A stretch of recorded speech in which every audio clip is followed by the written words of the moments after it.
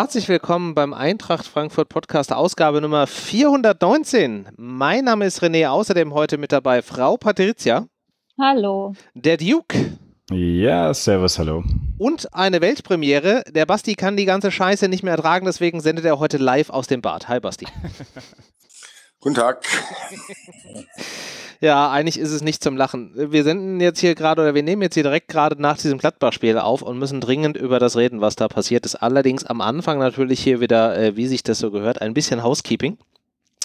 Ähm, ja, wir haben wieder ganz viel Unterstützung von euch äh, bekommen, auch in diesem Monat und äh, zum Jahresende. Von daher vielen, vielen Dank stellvertretend an äh, den Dennis. Äh, ein anderer Dennis als der Dennis, der hier gerade mit. Danke, Duke, dass du uns unterstützt. Ähm, Ja, Genau. das ist Ähm, wichtig, das ist wichtig. Ja. Genau, ich habe von Vereinzelten gehört, die irgendwie Schwierigkeiten hatten mit den Überweisungen, die irgendwie wieder zurückkamen, teilweise auch von Menschen, die uns schon regelmäßig mit Überweisungen unterstützen. Ähm, wenn das bei euch auch der Fall ist, dann sagt mir da gerne Bescheid, dann nehme ich im Zweifelsfall nochmal mit der Bank da Kontakt auf, weil mich interessieren würde, ob das äh, ein Einzelfall war oder ähm, was da der Grund ist. Also da einfach nochmal die Info, wenn ihr da was in der Richtung habt. So, und jetzt müssen wir über die beiden Spiele sprechen. Und wir haben gerade eben im Vorfeld schon so ein bisschen gerätselt, hm, wollen wir da überhaupt drüber sprechen? Basti hat gesagt, er hat gerade wenig Energie. Ähm, ich habe gerade irgendwie ganz viel Energie und will irgendwie am liebsten schreien. Dennis hat schon gesagt, äh, der Fernseher wäre fast aus dem Fenster geflogen. Das war jetzt schon sehr schwere Kost, oder? Dieses 3 zu 3. Ich könnte jetzt mal die, die klassische Frage stellen. Basti, wie geht's dir denn nach diesem Spiel? ähm, ich habe das Gefühl, ich habe keine Kapazitäten mehr. Also wie, wie, wie Corona wissen wir alle, was los ist. So, man schleppt so durch. Fußball hat ein bisschen abgelenkt. Die Eintracht hat zu wenigstens mal einen Punkt. geholt. Ähm, ich habe das Gefühl, ich bin, was das betrifft, jetzt am Ende meiner Kapazitäten. Dass ich ich habe ja bei Twitter geschrieben, ich kann nichts mehr sagen. Ich habe auch wirklich das Gefühl, ich kann nichts mehr sagen. Ich weiß nicht. Wahrscheinlich wird es das eh nicht sein. Ich werde euch jetzt gleich voll labern, aber ich, ich habe das Gefühl, ich weiß nicht mehr, was ich dazu sagen soll, weil es halt auch eine Gemengelage ist. Du kannst dich nicht auf ein Problem stürzen. Mir wäre es jetzt zu einfach zu sagen, ja, Hütter muss weg. Das war diesmal, der Kommentator hat mich aufgeregt, der Schiri hat mich aufgeregt, das Spielpech hat mich aufgeregt und die Dummheit vom Barcock am Ende hat mich auch aufgeregt. Gleichzeitig habe ich irgendwie das Gefühl, das ist nicht so, also ich bin nicht in dem Modus wie Dennis, ich bin glaube ich schon eine Stufe weiter. Ich habe nicht mal mehr die Kraft, meinen Fernseher einzuwerfen. Ich habe einfach nur den, die Mut, meine Hände hängen zu lassen und zu sagen, ich habe keine Ahnung mehr. Also das ist so dieses Ding, äh, Corona und diese Saison müssen so schnell wie möglich vorbeigehen. Die Saison ist aber ja noch nicht mal zur Hälfte rum. Das wird ein bisschen. Corona auch nicht! Das ist allerdings richtig, ja. Mann! Ja. Ja, jetzt muss ich was anderes was sagen. Ich habe meine ganze Kraft jetzt rausgehauen. Alter. ich, ich bin so ein Spieler, ich komme aus der Verletzung, dann heißt es ja so oft, la- lass ihn mal 45 Minuten spielen, dann musst du ihn sofort wieder rausnehmen. Du musst mich nach fünf Minuten wieder rausnehmen. Mehr Kraft habe ich noch nicht. Ich brauche Ja. ein bisschen Aufbautraining. Alter. Ja, Herr, äh, kein, kein Problem. Dann äh, wechseln wir jetzt einfach Patricia als äh, zweite Stürmerin ein und dann kann die jetzt mal sagen, wie es ihr nach diesem 3 zu 3 geht. Wie viele Fernseher sind bei dir geflogen? Ja, keiner. Also ich habe schon im Vorgespräch gesagt, mir ist irgendwie zwischenzeitlich fast ein Stimmband gerissen, weil äh, ich konnte es halt nicht, also es war sehr schwer zu ertragen. Alles, also wie Basti schon gesagt hat, der Schiri, der Kommentator, das Spiel, äh, das Pech, alles. Ähm, das war mir ein bisschen zu viel und ich habe, glaube ich, letzte Woche oder so schon gesagt, äh, ich dachte, das wäre so dieser Punkt gewesen, wo ich sage, okay, das war jetzt zu viel und ich kann nicht mehr. Das war noch nicht der Punkt, der war heute, glaube ich. Also der war wirklich heute, weil ähm, ja, es ist einfach, ich, ja, ich suche nach Worten, ich habe es auch noch nicht ganz verarbeitet, weil ja, das war zu viel und ich bin auch ein bisschen fassungslos insgesamt. Man muss aber doch sagen, Leute, ich hatte ja heute zwei Momente, wo ich hier alles zusammengeschrien habe, beziehungsweise am liebsten auch den Fernseher aus dem Fenster geschmissen hätte. Nämlich einmal diese geile Aktion zum genialen 3-1, was man wirklich sagen muss, wow, Barkok, was macht er da? Geil, einfach nur saugeil. Und dann, ihr habt es schon angesprochen, dann gab es die Situation, äh, Barkok, dieser beschissene Elfmeter auf der anderen Seite, da rast dich fast aus, wie man so eine Scheiße bauen kann. Das ist wirklich, da werde ich wahnsinnig. Und dann dieses 3-3 am Ende. Ich, ich muss wirklich sagen, das, wer, er- wer das erträgt und das ist normalerweise, Basti, du sagst immer so schön, diese Wellen, von denen du dich ja immer auch versuchst zu lösen, die Emotionswellen und zu sagen, ich, das, da, wenn ich da mitgehe, dann gehe ich kaputt. Im Moment, ich habe mich mal wieder anstecken lassen. Heute war so ein Spiel, ach komm, das guckst du mal, äh, das war habt ihr nichts erwartet gegen Gladbach? Wir haben doch wirklich alle nichts erwartet. Dann geht das Spiel und du machst wirklich da so geniale Tore, so geniale Momente wie das von, von Barkok. Und dann kommt so eine Scheiße. Und dann kommt ja auch noch alles dazu. Diese gelb-rote Karte gegen Abraham, was auch wieder ein Mist war. Dann der Schiedsrichter, die generelle Leistung von den Schiedsrichtern. Und oh Mann, also wirklich Leute, ich bin, ich bin fix und fertig. Ich muss wirklich sagen, es ist, es ist grauenvoll, aber tatsächlich, und das ist wirklich was, was jetzt, das Spiel ist jetzt gerade mal wie lange? 20 Minuten rum. Ja, und trotzdem äh, ist es für mich sowas, ich ziehe momentan tatsächlich noch ein bisschen Kraft von diesen geilen Situationen, die heute auch in diesem Spiel vorkommen sind. Silva, was, was war das wieder? Ein wirklich, das ist doch wirklich mal ein Stürmer, den wir da haben, der auch mal abliefert. Dann auch die Aktion von Barkok, was offensiv gelaufen ist. Geil. Einfach nur geil. Natürlich die Situation und wenn du dann noch, wir haben ja, wir reden jetzt hier die ganze Zeit über das ähm, Gladbach-Spiel, wenn dann noch Wolfsburg dazu rechnest, dann müsste man normalerweise hier tief traurig in der Ecke sitzen, müsst weinen und äh, in die nächste Depression verfallen, so ungefähr. Aber äh, es gab heute für mich auch mal wieder, zumindest an der einen oder anderen Stelle, Grund zu jubeln, Grund mich zu freuen und Grund auch richtig hier auszurasten. Wenn du dann, wie lange hatte ich das schon nicht mehr? Und das ist doch eigentlich schön, wenn man jetzt mal das andere alles ausblendet, was alles noch nach der, ich weiß gar nicht, in welcher Minute ist denn der Gegentreffer der erste gefallen? 90. der Elfmeter? 3-2. Äh, ja, 3-2. Der genau. war in der 90. und der Ausgleich war dann in der 95. Also, wenn das natürlich alles rausnimmst, äh, dann ähm, ist es eigentlich ein sehr schöner Tag gewesen. So äh, ist das Resümee natürlich am Ende sehr, sehr bitter. Mhm. Ich fand, es war, wenn dann tatsächlich nur bis zu dieser Mittelfeldaktion und der gelb-roten Karte ja, ein ja, schöner hast Tag. Recht, hast recht. Weil, ja. Äh, ab ja, dem Zeitpunkt, auch mit den Wechseln, die danach kamen, aber wir nehmen uns jetzt wieder sehr viel äh, vor auf so einmal, ähm, war es so ein bisschen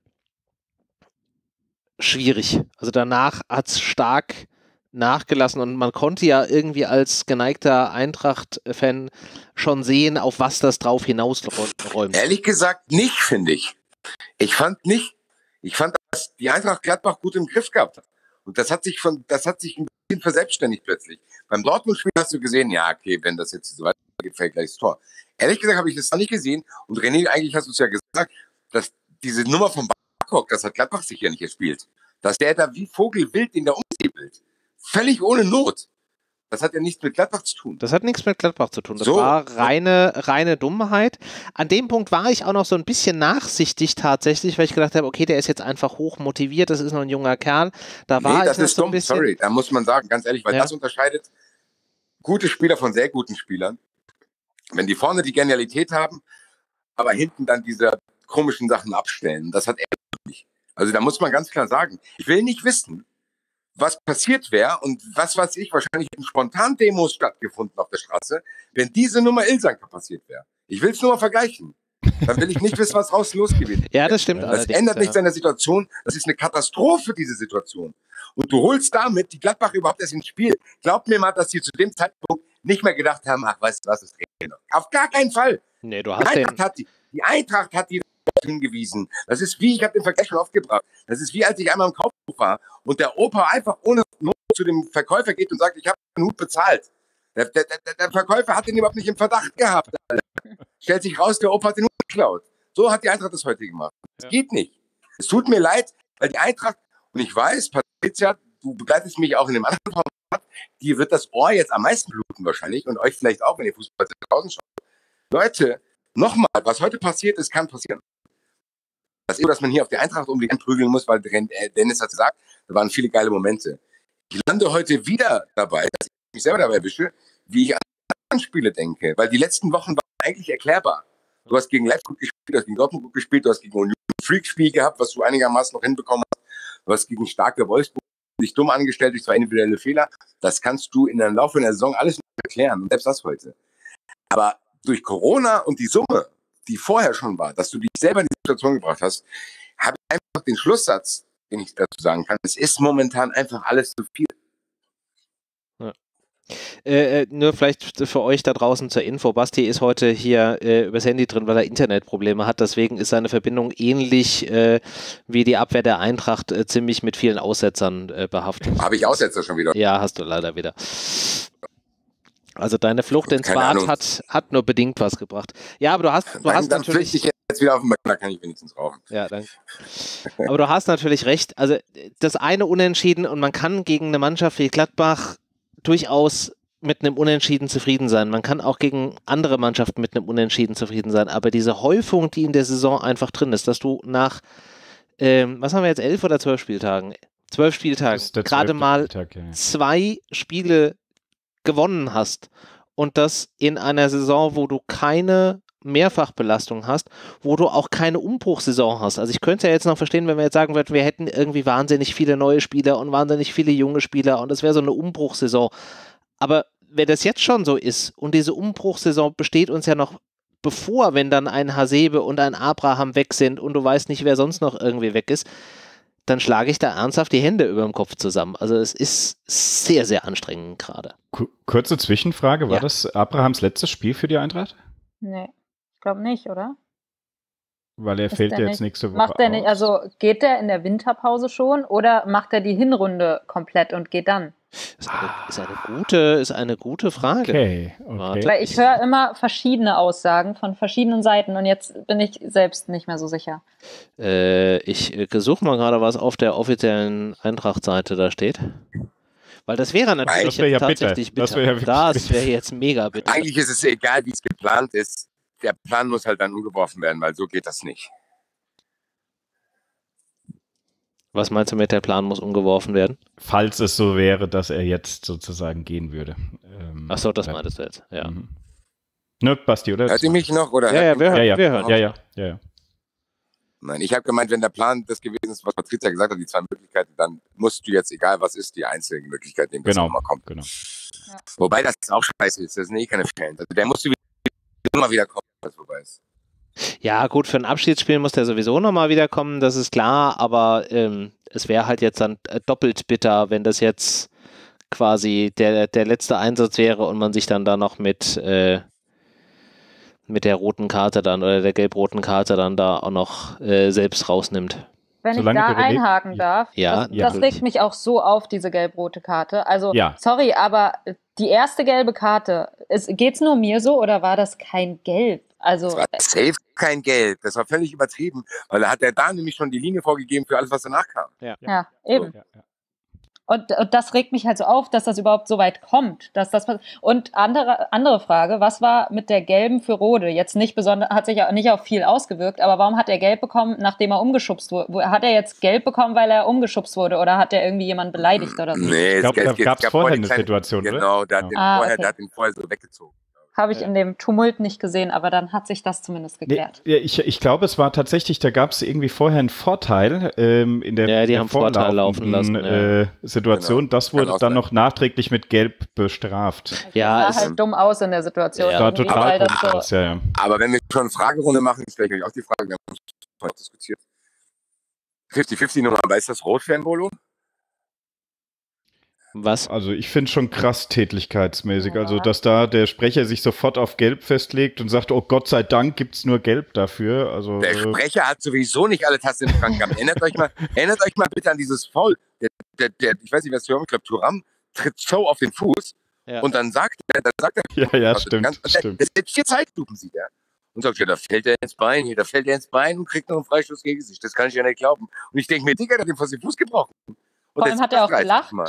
Also der hat die ganze Zeit Ja. so gekichert. Und ich dachte mir, was Ja. ist denn jetzt daran so unfassbar lustig? Also, ja der Wahnsinn, Alter. Naja, gut, der hat das Spiel trotzdem nicht entschieden, weil die Spieler haben es Gott sei Dank nicht gehört. Das ist nur zu unserem eigenen äh, Ausrasten. Ja, trotzdem, ich, es ist noch alles sehr konfus. Ich bin froh, dass wir das Konzept auch nicht haben, dass wir das öfter so machen. Dass wir direkt nach so einem Spiel aufnehmen, wo du halt selber nochmal die ganzen Spielszenen durchgehst. Und wie Dennis es gesagt hat, also wenn ich jetzt hier noch weiterrede, glaube ich, dann sollte ich weg von meinem Fernseher gehen. Alter. Also Abraham bleibt übrigens noch bis Januar, also er macht tatsächlich die Hinrunde äh, bis äh, in den Januar hinein fertig und Okay. von daher haben wir da noch die Sicherheit, aber klar, im nächsten Spiel ist er jetzt sowieso ja erstmal damit dann raus. Eine, eine Sache habe ich noch, das habe ich erst dann äh, gesehen gehabt, dass äh, Endika ist angeschlagen ausgefallen. Ähm, habt ihr da irgendwas genaueres noch? Äh, Schlag auf den Knöchel wohl. Ja, Ah, okay. okay. Ja. Das heißt, da ist die Wahrscheinlichkeit groß, dass er am Wochenende spielen kann. Der muss spielen, egal was ist. ja, gut. Was hast du denn sonst noch an Alternativen? Also, Ilsanka und da habe ich auch Tuta, oder? Ja, also Ilsanka bitte ja. nicht. Ja, Tuta wäre auch noch eine Variante, aber da wäre natürlich jetzt auch äh, ein ganz großer Druck drauf. Tja, was bleibt denn da jetzt dann für uns hängen nach diesen zwei äh, Spieltagen? Eintracht im, im Mittelfeld, noch ein bisschen Abstand ähm, tatsächlich nach, nach unten auch noch. Also ich sag mal, der Abstand nach unten wird ja langsam immer geringer und der nach oben immer größer, wie das äh, oftmals in so Tabellensituationen der Fall ist. Also ich habe da gerade kein besonders gutes Gefühl, wenn so diese Gesamtkonstellation ist und ich bin ernsthaft froh, wenn das nächste Spiel dann rum ist. Ich auch. Man, man, hat das trügerische Gefühl, dass man da eine Pause hat. Hat man aber gar nicht. Dann geht es am zweiten schon weiter gegen wo Leverkusen schlachtet. Ne? Ja. ja, eben. Und das, das Ding ist, ich weiß auch nicht, was noch passieren soll, dass die Eintracht einfach mal drei Punkte holt. Also ich habe es heute, jetzt so dumm das klingt gegen Gladbach, aber ich habe es vor mir gesehen. Ich habe echt bei dem 3-1 gedacht, okay, heute klappt's. Mhm. Und dann passiert so auch noch in der 90., 95. Minute und langsam verliere ich den Glauben dran. Ich weiß nicht, was soll denn passieren, dass die drei Punkte holen? Was, was, soll, was sollen sie tun? Also, wie schaffen die es einmal, eine Führung über die Zeit zu bringen? Wie? Ich, ich sehe es nicht mehr und ich habe keine Ahnung und das regt mich so auf. Weil natürlich war es Gladbach und natürlich ist ein Punkt, wenn du es so siehst, klar, gut. Aber nicht nach so einem Spiel, ey. Ich, es ist schwierig. Ja, ja der Verlauf tut einem halt ernsthaft weh, ja. Ja, es ist halt so, dass wir wirklich uns, wir haben halt keine Vorarbeit geleistet. Es ist halt so, dass wir, ich, ich habe einfach keine Kapazitäten mehr, das zu verkraften. Die Mannschaft auch nicht. Die Mannschaft hat sich nicht genug Polster angefressen, um zu sagen, okay, passiert, weil ich meine, wir wissen es alle. Das ist zwar, wir haben solche Spiele auch mal gedreht. Die Hoffenheim erinnert euch, Paciencia, bla bla. So, also solche Sachen können halt passieren. Und aus solchen Spielen solltest du jetzt auch keine langfristigen Ableitungen machen. Wenn ich jetzt schon die ersten höre, die jetzt sagt, so ein Spiel sagen Hütter raus, weil er Ilsanka gegen Silva getauscht hat. Meine Güte sollte man vorsichtig sein, glaube ich, damit. Aber es ist halt so, dass die Eintracht langfristig selber dran schuld ist, dass die, die, die hat die Eintracht, ganz ehrlich, die Eintracht ist wie ein Eichhörnchen, was nicht genug Nüsse gesammelt hat. Ja, dann musst du dich nicht wundern, wenn du wieder Hunger hast, Alter.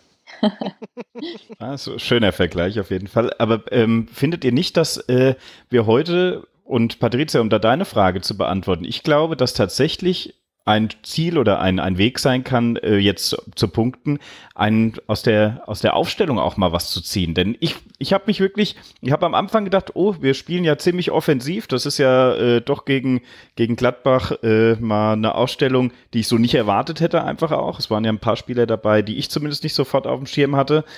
Hat mir aber sehr gut gefallen eigentlich. Ähm, natürlich, klar, jetzt am Ende Basti, hast schon richtig gesagt, man darf dann äh, auch die Wechsel teilweise, es war schon nicht so eine richtig nachvollziehbar. Muss man wirklich sagen, warum, warum wechselt man Rode zum Beispiel aus und Kamada kommt da noch rein, keine Ahnung, vielleicht um ein bisschen äh, einfach äh, da noch nach vorne was zu spielen. Das sind alles Situationen, wo man wieder über die Wechsel sich streiten kann. Von der Grundaufstellung her und auch von dem Grundsystem her hat mir das aber eigentlich gut gefallen. Und das ärgert mich ja dann gerade so, dass wir das vielleicht auch in dem ein oder anderen Spiel vorher nicht gesehen haben, auch in dieser Elf. Ähm, oder seht ihr das anders? Nee, um, ich sehe es genauso wie du. Ja, also wobei man auch natürlich dann, also grundlegend erstmal ja, das hat sehr, sehr, gut gepasst. Man war offensiv, man hat versucht, da spielerisch was äh, zu reißen, auch die Variante tatsächlich Younes mal von Anfang an laufen zu lassen, ähm, der ja auch noch Möglichkeiten hatte. Es offenbart der aber hoffentlich halt. nicht ausfällt jetzt länger. Der hoffentlich nicht ausfällt, der ja dann auch wieder mit äh, Griff an den Oberschenkel dann ausgewechselt werden musste.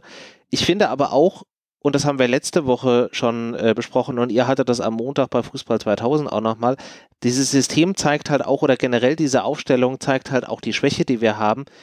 Ähm, wir haben halt keine Möglichkeit nachzulegen. Also diese Variante das jetzt nur mit einem Stürmer zum Beispiel gespielt wurde, war ja nicht, weil man dran glaubte, dass das jetzt das System ist, mit dem man besser äh, gegen Gladbach bestehen kann, sondern weil der Trainer vorher selbst gesagt hat, er kann sich nicht leisten, momentan beide Spieler äh, zu bringen, weil wir halt keine Alternativen haben. Also das ist halt auch wieder zum Haare raufen. Ja, ein bisschen recht hat er ja schon. Also ich meine, Barkok und Younes waren ja jetzt auch nicht die ganze Zeit verfügbar, also so ist es ja schon. Aber ja, trotzdem. Aber mehr ist er halt nicht. Ja, mehr ist er halt nicht. So, da hört es halt dann auch schon wieder sehr schnell auf. Ich habe keine Ahnung. Ich habe das Ding ist, Leute, ich glaube, ich muss mich verabschieden. Ich höre euch nur noch abgehackt. Ich habe das Gefühl, ihr hört mich auch nur noch abgehackt. Ja, es ist ein Seid bisschen schwierig böse. Ich habe alles, ich habe alles gegeben. Es hat nur zum Unentschieden gereicht. äh, ähm, ja, viel Spaß noch und macht's gut. Und, Ja. Macht Wir- nicht mehr Danke, zu lange. Es, Basti. es tut euch nicht gut. Ciao. Alles klar, Basti, bis dann. Also danke dir, mach's gut, hau Ciao. rein, ciao, ciao. Ciao. Ciao. Ja, ich glaube, da haben wir auch schon relativ viel zu dem Spiel ähm, gesagt. Ich vielleicht, um das nochmal positiv herauszuheben. Erstens, Silva ist ein grandioser Stürmer. Ich bin mega froh, dass wir den verpflichtet haben. Und ich finde auch, dass Barkok zumindest in der offensiven Bemühung und in der Kombination mit Silva, dass diese Kombination extrem gut funktioniert. Kann man, kann man Würde- so sagen. Gehe ich, geh ich voll würde mir tatsächlich wünschen, das öfters zu sehen. Und jetzt würde ich gerne mit euch nochmal über diese Wechsel reden. Könnt ihr mir diese Wechsel erklären? Also Rode dann rauszunehmen, der diese gelbe da bekommen hat und Barkok dann auch, verstehe ich. Und da Costa Ja. einzuwechseln, verstehe ich ja auch noch zu sagen, okay, da hast du einen schnellen Spieler. Aber wenn du gerade in der 90. Minute bist, du bist in so einem zweikampfbetonten Spiel und dann wechselst du Kamada ein, der vielleicht technisch super begabt ist, aber der halt auch, wenn da so ein Tyram oder so ein Player angerast kommt, halt auch irgendwie von der Größenordnung nicht höher ist als die Grasnarbe selbst. Also was bringt das denn? Ich verstehe es nicht. War das dann nicht, war das dann nicht mangels Alternativen? Also wenn du Rode rausnimmst, du musst ja irgendwie Mittelfeldspieler, wen hatten wir noch auf der Bank, wen du bringen kannst? Also Ilsanker ist, glaube ich, halt einfach Ilsanker war reingekommen, schon weil. Abraham gelb-rot hat. So, Genau, dass Ilsanker- irgendjemand in die Innenverteidigung gehen kann. Genau, Ilsanker war ja schon drin, Chor war schon drin. N- Gut, du ja. hättest noch Chandler oder Zuber bringen können, aber Ja. ähm, Ja. Oder halt, ein, oder halt im Oder er Zweifelsfall ein, ein, ein Dost und dem mal einfach sagen, so du stellst dich jetzt in die Mitte und alles, was kommt, checkst du weg. Ja, also ich glaube, ich glaube aber, diese, diese Wechselgeschichte, das ist auch sowas, ich- wie du es da machst, klar, der wollte Zeit noch ein bisschen äh, von der Uhr nehmen und auch, äh, ja, im Endeffekt, vielleicht hat er sich erhofft, dass dadurch auch mal wieder ein bisschen noch ein, Ent ein Entlastungsangriff nach vorne funktioniert. Äh, ja, war im Endeffekt dann ärgerlich. Und wie das Tor natürlich dann auch in der 96. da fällt, ist natürlich totale Katastrophe. Ne? Der also, Entlastungsangriff Stindl so war- frei sein? Der Entlastungsangriff war ja da. Also es hätte ja funktionieren können, wenn da Costa durchgelaufen wäre. Ja, stimmt, stimmt. Oh ja, stimmt. Das hatte ich jetzt Also, gar nicht mehr auf dem Schirm. Ja, richtig. Der, der ja. Pass von Kamada war ja da, der hat ja seinen Gegenspieler ausgetribbelt. Und da Costa hatte irgendwie keine Ahnung, warum, ob, weiß ich nicht, er noch kurz überlegt hat, was er morgen noch einkaufen muss oder ob einer von außen irgendwie Stopp gerufen hat oder weil er das Gefühl hatte, er stand im Abseits. Aber wenn der da zwei Schritte schneller gewesen wäre, dann wäre der ja alleine vor, vor Sommer gewesen und hätte vielleicht noch was machen können. Also nicht, dass er jetzt unbedingt zwingend hätten reinmachen müssen, aber die Chance wäre ja durchaus da gewesen. Das ärgert mich auch sehr, weil irgendwie hatte ich das Gefühl, der Costa hat schon damit abgeschlossen. Also irgendwie, ja, das richtig. wird nichts mehr. Ja, ja. Und dann ist er halt irgendwie nicht mehr voll gegangen.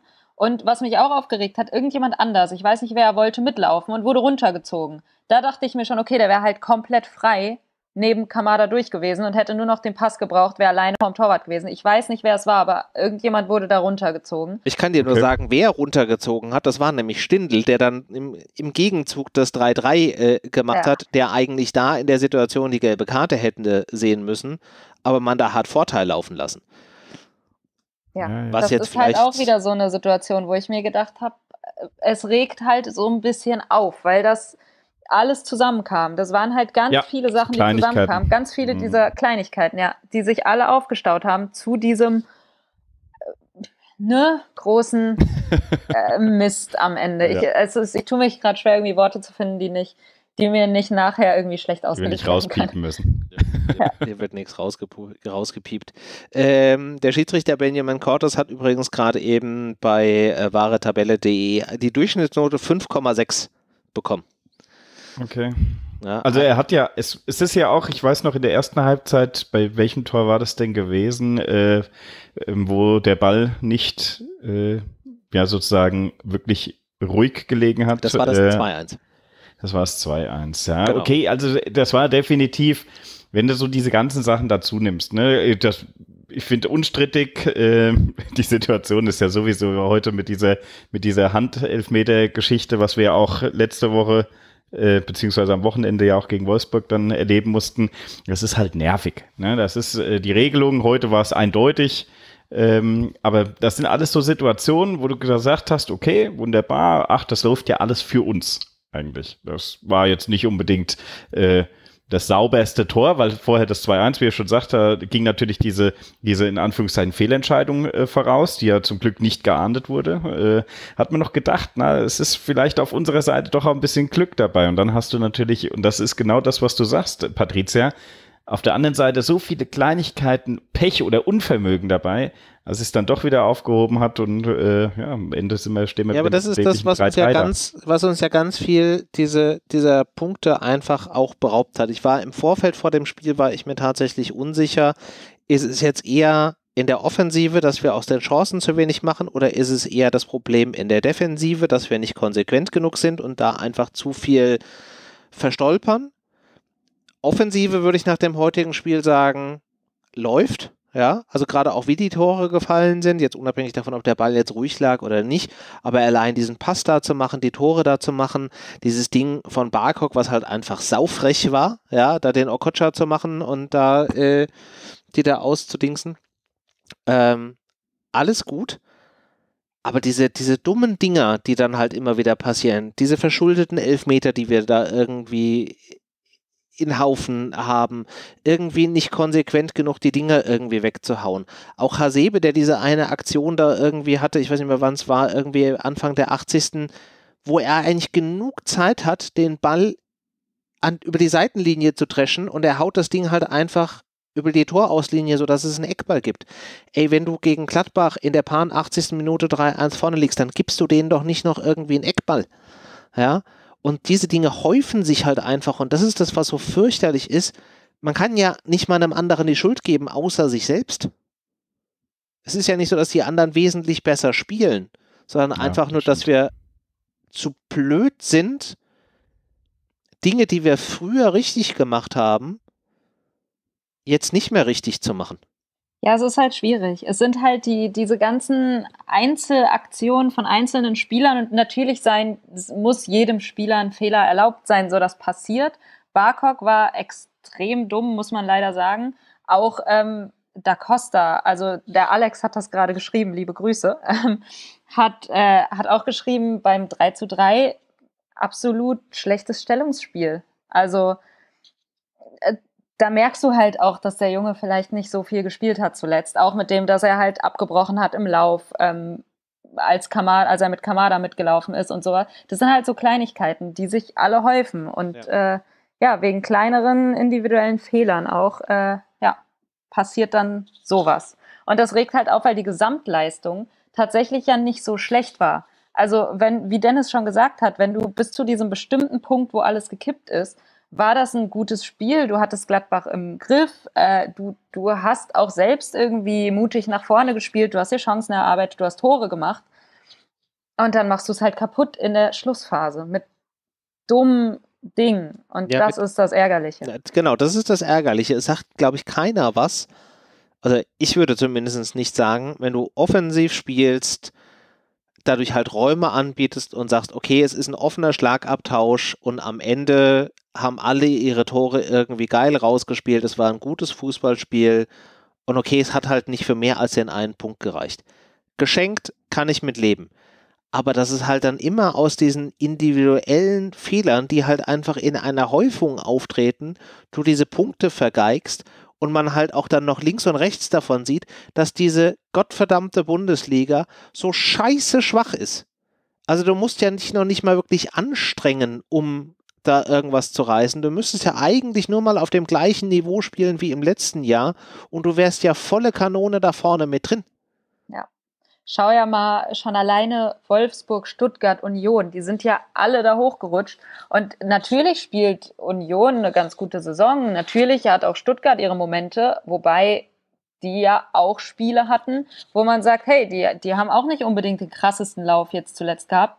Wolfsburg spielt, ja, hat eine gute Mannschaft, spielt aber auch nicht immer überzeugend und trotzdem können die da alle oben anschließen man sieht ja auch Gladbach, also letztendlich war das jetzt der achte gegen den neunten heute. Ja. Obwohl es halt Gladbach ist und die sind in der Champions League jetzt ins Achtelfinale gekommen, alles schön und gut, aber die strugglen auch in der Bundesliga. Klar haben die eine andere Belastung, das ist jetzt nicht zu vergleichen, aber dennoch, das, die, die sind ja auch noch mal ein Level höher als die Eintracht. Und wir wären da mit einem Sieg halt auf sagen, einen Punkt rangekommen, ne? Ja, ja, eben. Das ist halt das Problem. Die sind vier Punkte vor der Eintracht. Und du wärst halt easy rangerückt und das auch verdient jetzt. Naja, jetzt ist es halt ja. so ausgegangen. Es ist halt, äh, ja, das. Und dann, wie Basti auch schon gesagt hat, du denkst gezwungenermaßen immer zurück, die vergeigt hast gegen Bielefeld, Köln, Bremen etc. Und das ist halt das Ärgerliche, weil, weil, was will man jetzt der Eintracht vorwerfen, dass sie gegen Dortmund nur unentschieden spielen? Das, das geht nicht, da kannst du keinen Vorwurf machen. Nee. Da, da habt ihr völlig recht, auf jeden Fall. Was man auch sagen muss, ist, René, du hattest das, glaube ich, vorhin angeführt gehabt. Das Schöne ist, dass wir auch Tore schießen. Das war ja auch was, was wir lange Zeit, wo wir ähm, häufig gesagt haben, oh, wir brauchen eigentlich äh, so eine, so eine, ja, ich sag mal, geordnete Defensive. Das bekommst du immer irgendwie hin, dass du nicht zu viele Tore hinten fängst. Äh, vorne aber Tore zu machen ist ja wirklich äh, dann doch eine Kunst. Und wenn du jetzt schaust, ich glaube, wir haben in den letzten, ich weiß gar nicht, in den letzten zehn Spielen jedes Spiel ein Tor gemacht auf jeden Fall. In manchen dann auch mal, zwar immer häufig nur eins, aber ähm, das ist schon, das ist natürlich eine Situation, wo du sagen kannst, zumindest in der äh, in dem Bereich scheint es okay zu sein, scheint zu passen. Jetzt habt ihr natürlich genau das Richtige angesprochen, individuelle Fehler grauenvoll versaut natürlich hier das gesamte Bild. Wenn du das natürlich alles rausrechnen würdest, würde man auch auf einem ganz anderen Tabellenplatz stehen, kannst du aber natürlich so nicht machen. Aber heute hat mich auch geärgert, wenn man jetzt nur die individuellen Fehler von Barcock und so weiter nochmal rausnimmt, okay, ja, aber ich frage mich auch, warum wird in so einer Situation der nicht vielleicht auch nochmal reagiert, nachdem du eigentlich in der Halbzeit schon gesehen hast, boah, ein Abraham und ein Hasebe sind absolut krass gelb-rot gefährdet. Ich weiß, Abra äh, Hasebe wurden dann nochmal ermahnt äh, und auch, ich glaube, Abraham hatte noch eine Situation, wo du denkst, okay, du kannst natürlich, du hast nicht viel auf der Bank, außer, ich glaube, Tuta oder du musst halt ein bisschen umstellen. Äh, ja, oder halt dann der, doch einen, einen Ilsenker früher reinbringen und den Oder halt einen Ilsenker früher reinbringen. Das ist oder wie du schon sagst, das, das System halt einfach ändern und sagen, okay, wir gehen jetzt auf eine auf eine Viererkette, du nimmst halt zumindest einen von den beiden raus und stellst den Hinteregger irgendwie in die, in die Mitte und lässt einen Chandler auf links spielen. Der kann das ja auch. Ich will Ilsanker auch nicht in, normalerweise in der Verteidigung sehen, nicht, dass hier jemand das falsch versteht. Das ist wirklich. Äh, ja, aber, aber es ist halt in so einer Situation findest du, also ich glaube, da stimmst, stimmt dir zu, hoffe ich zumindest, ist natürlich was, das Spiel, wir hatten das ja super im Griff und wir hatten auch Gladbach gut im Griff. Und dann ist so eine Situation, wo du merkst, oh, da muss mal eine blöde, äh, ein blöder Spielzug sein, dann kriegt einer von unseren wichtigen Innenverteidigern eine gelb-rote Karte und dann dreht sich das Spiel. Dass wir das so lange noch ausgehalten haben und dass wir das äh, eigentlich dann erst das Gladbach, dass er es ausgenutzt hat, nachdem Barkok da den Aussetzer nachdem hat. Nachdem wir sie wieder rangebracht haben. Ja. Nachdem wir sie eigentlich wieder rangebracht haben, genau, das ist der richtige Ausdruck.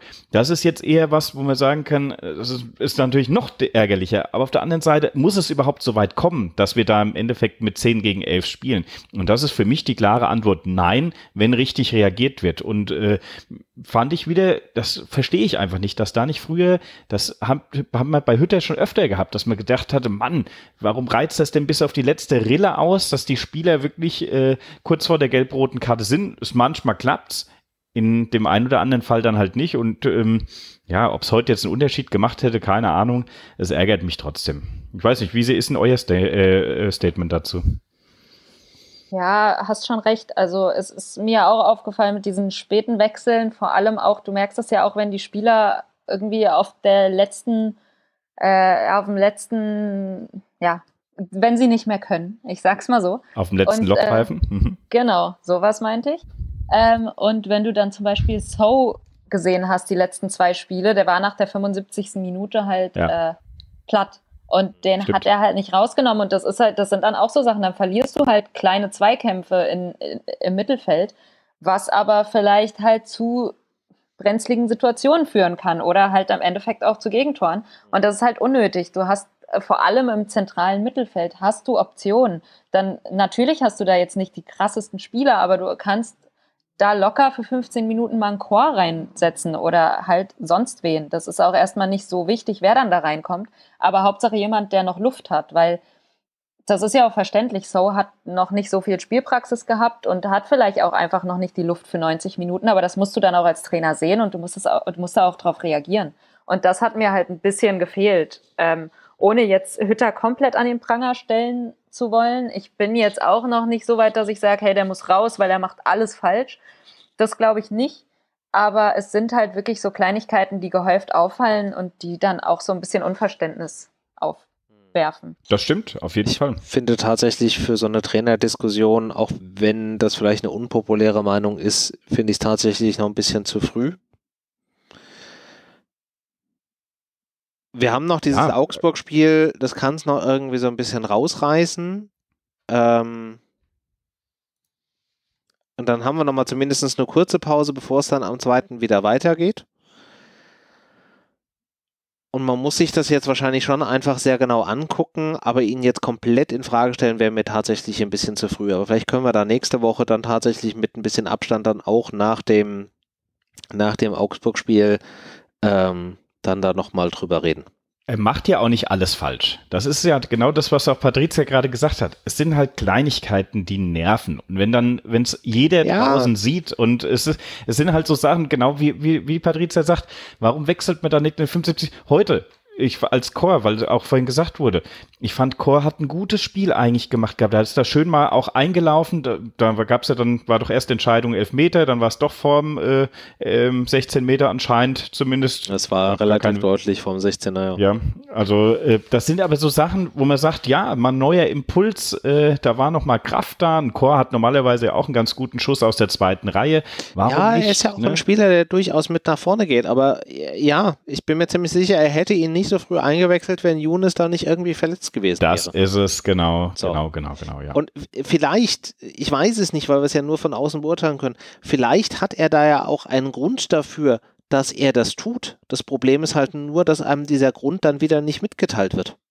Ja, das ist ja das Ding, man, es ist ja klar, der Trainer will ja nicht mit böser Absicht irgendwie falsche Entscheidungen treffen oder der, der, er, in seinem Interesse ist ja auch, dass die Eintracht die bestmögliche Runde spielt, das Spiel gewinnt, etc. pp. Aber das Problem ist halt, dass dann vielleicht, ja, man muss, man, man, man muss ihm ja zugute heißen, dass er das ja alles nach bestem Gewissen macht und er sieht da ja irgendwie einen Grund drin und er muss sich ja auch was dabei denken.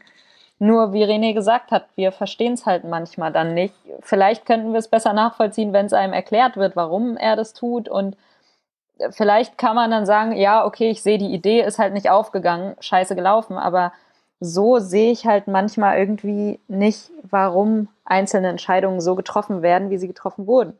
Auch schon mit diesem, dass die Aufstellung so lange stur beibehalten wurde, was ja jetzt sich ein bisschen geändert hat in letzter Zeit und auch heute ja ein guter Beweis dafür ist, dass, ja, dass er da jetzt ein bisschen dran arbeitet.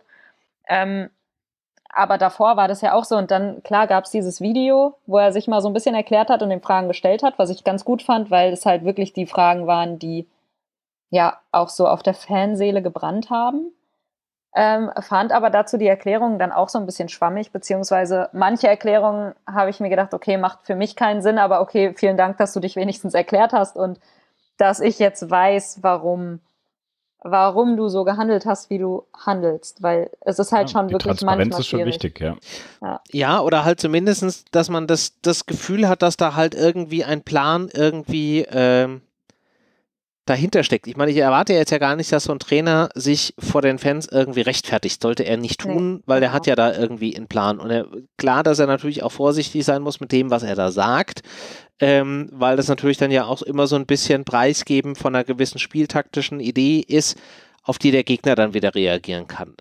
Aber wenn ich zumindest mal das Gefühl habe, dass da halt irgendwie ein, eine gewisse Idee dahinter steht, und man mir irgendwie vermitteln würde nach dem Motto, okay, wir müssen das jetzt so tun, weil wir dadurch irgendwie Weiterentwicklung reinbringen, weil wir uns da irgendwie drauf einstellen müssen oder irgendwas, dann kann ich damit ja ganz anders da umgehen. Aber wenn ich immer noch das Gefühl habe, da wird jetzt irgendwie eine Zeit lang nichts gemacht, weil man nicht weiß, wie man drauf reagieren soll und dann wird halt irgendwas gemacht, dann hilft mir das nicht Und man muss halt immer bedenken, dass Fußball halt ein, ein äh, sehr ja, auf aufmerksam angewiesenes äh, äh, Produkt ist. Und ich glaube, das bleibt auch jetzt gerade nur zum gewissen Teil so ruhig, weil halt einfach keine Fans im Stadion sind. Wenn wir jetzt da eine volle Hütte gehabt hätten, dann würde sich das ganz anders darstellen. Plus den Faktor, dass ich glaube, dass dann auch diese, diese ganzen letzten Spiele komplett anders da ausgegangen ja. wären. Ich glaube nämlich auch, diese Spiele, die so auf der Kippe standen, besonders heute, das war ja ganz knapp, also richtig, richtig knapp. Ähm, so, so, Spiele gehen dann halt, glaube ich, auch zugunsten der Eintracht aus, wenn du die Fans da hast. Das ja. sind halt immer diese letzten paar Prozent, die dann noch rausgepusht werden, die vielleicht eigentlich so nicht da sind. Ähm, ja, es ist halt schwierig, gerade generell die Situation.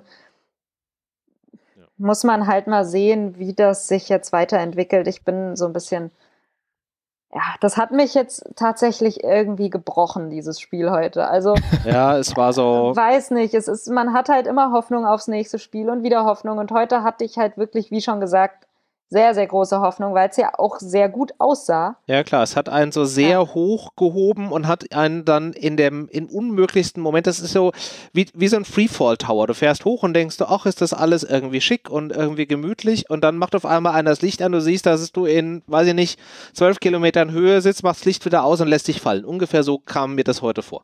Ja, ich habe mir schon ausgemalt, was kannst du heute alles loben? Oh mein Gott, wenn wir nach dem Spiel aufnehmen, bist du sogar mal froh und kannst dich über ein gutes Ergebnis freuen, was man nicht verhunzt wurde und dann kommt halt sowas, dann naja, okay. Und dann halt kommt, kommt wieder die Eintracht um die Ecke und sagt, guck mal, wer da ist. Aber, aber Patrizia, das ist doch perfekt. Da, äh, ich würde mich trotzdem freuen, wenn du nochmal deine Lobeshymnen für das, was äh, es zumindest verdient hat, auch preisgeben würdest, weil das ist doch das, wora, womit wir arbeiten müssen für die nächsten Spiele. Das Spiel heute können wir eh nicht mehr äh, umdrehen. Auch für die Eintracht ist es natürlich ärgerlich. Trotzdem finde ich, und das war auch das, der Tenor, den ich äh, vorhin äh, versucht hatte, auch so mit reinzubringen, zu sagen, wir müssen eigentlich jetzt mal das hinten ausklammern. Alles nach der 81. Minute war natürlich totale Scheiße auf gut Deutsch, äh, äh, weil es alles dann natürlich so ein bisschen Bach runtergegangen ist. Auf der anderen Seite, vorher, es waren ja so viele positive Momente auch dabei. Patricia, wie, was hast du denn da als besonders positiv oder Sachen, die wir aus, die wir vielleicht auch ins nächste Spiel gegen Augsburg dann übertragen können? Darf ich das gleich beantworten, nachdem ich noch Gerne. eine negative Sache nenne, die ich Kein rauslassen Problem. muss, weil mich das sonst innerlich aus auffrisst? ähm, gerne, gerne. Wie viel Pech kann eine Mannschaft auch haben? Also ausgenommen Schalke, so, ne? dass auch schon allein dieses 1-0, dieser, dieser Freistoß, dass der so reingeht, ja, Wahnsinn. Das war wieder eines dieser Tore, über die ich mich die letzten Wochen schon aufgeregt habe, dass die Eintracht immer diese Tore kassiert. Sky hat das dann noch mit, okay, die, die Torwahrscheinlichkeit von Sky kann man nicht immer ganz ernst nehmen, aber mit 6% beziffert. ja, also mal, es ist halt auch mal, langsam, ganz, ist auch genug. Mal ganz ehrlich, hatte ich es tatsächlich überrascht, dass der reingeht? Mir war das sofort klar. Äh, ja, also als er reinging, habe ich mir gedacht, natürlich geht er rein. Das war irgendwie klar, aber irgendwie hatte ich die Hoffnung, dass der in der Mauer hängen bleibt oder, weil es kann doch nicht, also es kann nicht jedes Spiel passieren. Es kann nicht sein, dass jedes Spiel irgendein Spieler sagt, hey, heute habe ich mal meinen mein einen Schuss aus zehn Schüssen, der richtig sitzt.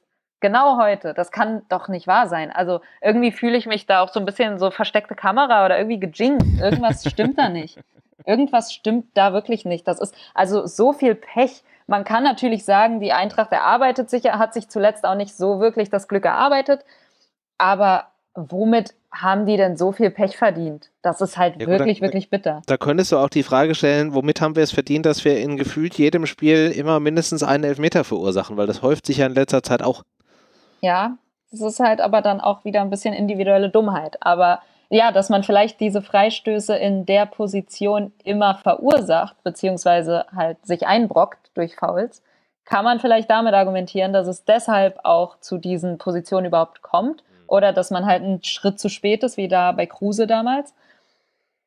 Aber es kann auch trotzdem nicht sein, dass der Spieler aufs Tor schießt und dann geht er noch so perfekt rein, wo man sich denkt, oh, wow, was ein Schuss Ey, ah, ja, okay, ja, das musste ich noch loswerden, weil das frisst ja, mich wirklich also innerlich ist, auf. Ist ja nicht nur, dass der das perfekt reingeht, sondern es ist ja auch schon der Fakt, dass er ihn quasi perfekt um die Mauer gezirkelt hat und der quasi ja auch noch so die Haarspitzen von Hasebe äh, streift. Ja, also da war ja auch wieder tatsächlich alles irgendwie ähm, dabei, aber ich hatte ja, es schon Trapp so ein, war ja auch sogar fast dran, Trapp genauso wie beim Elfmeter übrigens. Ja, oh wo, Gott. wobei man Wo da ich halt auch, ich habe noch vor dem Elfmeter, ich wollte es jinxen, also ins Positive und sagen, so, der hält ihn jetzt und ich habe es euch gesagt. Ich habe irgendwie zehnmal vor dem Fernseher rumgemurmelt, er hält ihn, er hält ihn, er hält ihn. Und dann ist er dran und ich dachte mir so, warum hält er ihn nicht? Warum, warum ist uns das denn nicht gegönnt jetzt? wobei du natürlich Das auch die stimmt, ja. Frage stellen kannst, ob das in dem Moment mit dem Freistoß, ob Trapp ihn vielleicht gehalten hätte, wenn vorher nicht dieser ähm, leicht herbeigeführte Zusammenstoß mit Hinteregger gewesen wäre. Ich weiß nicht, ob der da nicht vielleicht auch trotzdem noch so ein bisschen arges Kopfbrummen oder Ja. irgendwas hatte. Auch absolut unnötige Aktion an dieser Stelle. Die Also auch dieser keine Schubser. keine Karte zur Verfügung hatte. Also was bitte erlaube, äh, Spieler von Gladbach, Name hier einfügen, ich weiß nicht mehr, wer es war, ich glaube, es Ja. war Player.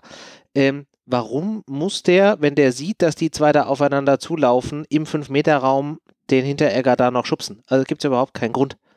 Ja, es war halt völlig unnötig und äh, halt so Dinge auch schon wieder. Er- Ich glaube, der hat bis zum Ende des Spiels keine einzige gelbe Karte gesehen und hatte auch noch mehrere Zweikämpfe, nicht alle gelbwürdig, aber er war halt schon recht, Ja. sagen wir mal, motiviert im Spiel. Ja, aber es war auch schwierig für ihn bis zum Ende des Spiels gelbe Karten zu sehen, weil er ja in der 63. ausgewechselt worden ist. Ah okay. Aber bis seinen ganzen Einsatz über hat er zumindest nichts. Da hat er keine gelbe Karte gesehen. Nein, das Genau, definitiv, okay. das definitiv nicht. Ja, dann Naja, lass uns doch einmal noch mal kurz äh, zusammenfassen. Ähm, und dann können wir gleich noch mal äh, kurz auf die, was nehmen wir jetzt für das nächste Spiel daraus mit, äh, Momente fassen. Also unentschieden gegen Gladbach kannst du machen, bei dem Spielverlauf eher nicht. Immerhin klappt es in der Offensive, wir schießen Tore. Und für eine Trainerdiskussion ist es zu früh, weil er hat ja doch durchaus einiges richtig gemacht, aber an seiner Wechselthematik, da besteht noch so ein bisschen Verbesserungsbedarf, würde ich es jetzt mal nennen. So, dann ist jetzt die Frage, was nehmen wir aus diesem Spiel mit für das Spiel gegen den FCA am Samstag 15.30 Uhr, das letzte Spiel in diesem grandios tollen Jahr 2020, Ironie off. Ähm, Patricia, welche positiven Momente nehmen wir dahin mit? So, also, ähm, was wir eigentlich schon länger wussten, Silva ist verlässlich, trifft verlässlich, Ja. guter Einkauf, guter Stürmer, Ja. top.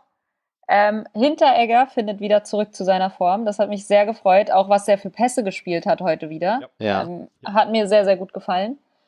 Ähm, Younes und Barkok gefallen mir beide ganz gut, wenn Barkok diese, ne, wir streichen das mal, was ganz am Ende passiert ist. Ja. Ansonsten bringt das schon viel fürs Offensivspiel. Auch Younes, mir hat das so gut gefallen, wie der zum Teil nicht mal vom Ball zu trennen war oder sich da irgendwie noch gedreht hat und den Ja. einfach am Gegenspieler vorbei. Das sind halt so Elemente, die man sonst selten hatte bei der Eintracht. Hat mir auch sehr gut gefallen. Ich hoffe, da ist jetzt irgendwie nichts Größeres an Verletzungen, weil das wäre sehr, sehr unpraktisch, wenn er wieder zurückgeworfen wird. Ähm, ja, Barkok scheint das zu bestätigen, dass er irgendwie weiterhin da so seinen Lauf hat. Ähm, funktioniert auch gut mit Silva zusammen, also auch positiv. Ja, ansonsten klar, dass man halt eigentlich kann, wenn man will, weil das war halt sehr, sehr ordentlich gespielt. Man kann nicht sagen, bis zu diesem Punkt, wo dann alles durcheinander gegangen ist. Aber bis dahin war das schon sehr gut gespielt und wenn sie es jetzt noch schaffen, das konzentriert zu Ende zu bringen und sich halt nicht so kleine dumme Fehler zu leisten, vor allem dann gegen Ende, dann sind auch drei Punkte drin. Ich sehe halt nicht das Problem. Ich sehe viele Mannschaften schlagbar und ich sehe auch die Eintracht, dass sie das Potenzial hat. Sie muss es halt irgendwie über die Bühne bringen und ich weiß auch nicht, ob es vielleicht daran liegt, dass man jetzt einfach mal gewinnen muss und es dann besser wird, weil man dann irgendwie den Kopf frei hat. Ich weiß es nicht, aber vielleicht muss das jetzt einfach mal passieren.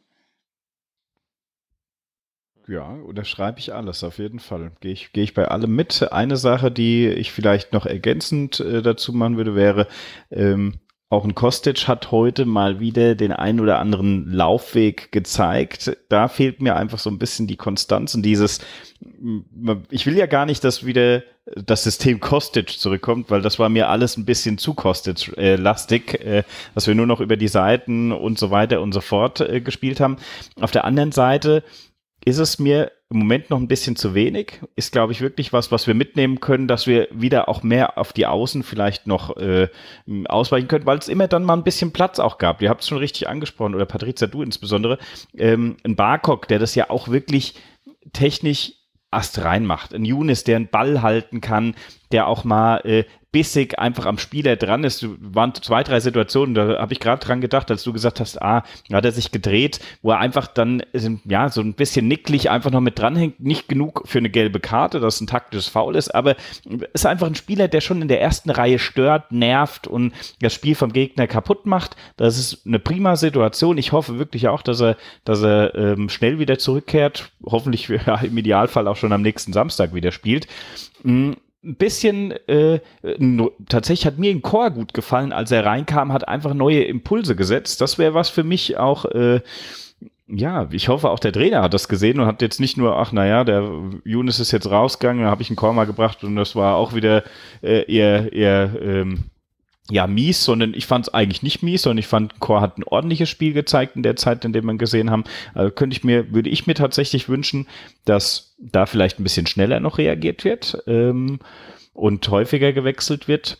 Und ja, hinten äh, muss man wirklich sagen, Patrizia, hast du völlig recht. Ein Hindi kommt wieder an, äh, ja, ich sag mal, schönere Zeiten äh, kann er wieder ranreichen. Äh, ja, da muss man halt jetzt einfach gucken, jetzt wird es halt auch mal wieder für ein schönes Kopfballtor nach einem Standard oder sowas, äh, dass er vorne auch wieder ein bisschen gefährlicher wird.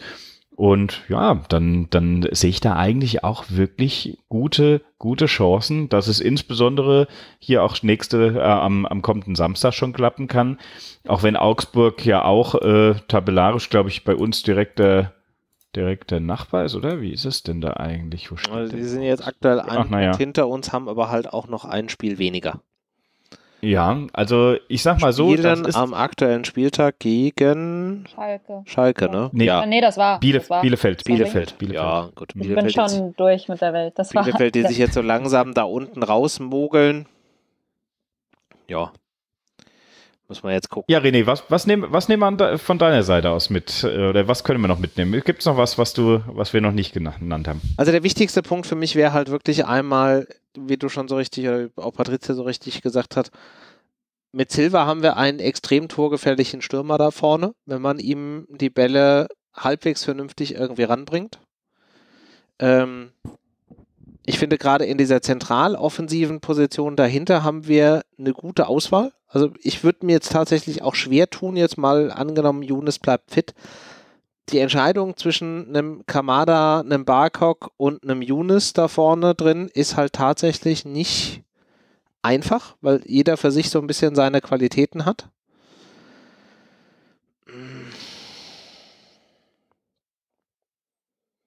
Ja, dann hört es aber auch schon wieder so ein Stück weit für das für das Positive aus, auf. Ja.